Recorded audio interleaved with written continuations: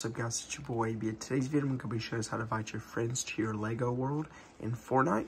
So go to Lego Fortnite right here guys, and then you want to go to up to select world. And then you know you want to create your world and you can just go through doing your settings and stuff and press square and start.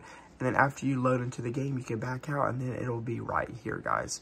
And then once it's actually loaded in, you can um, press cancel right here so it won't load you in immediately. And then from this point, you can invite your friends and then y'all can go into y'all's world together once they join. So press X and you can invite them like this.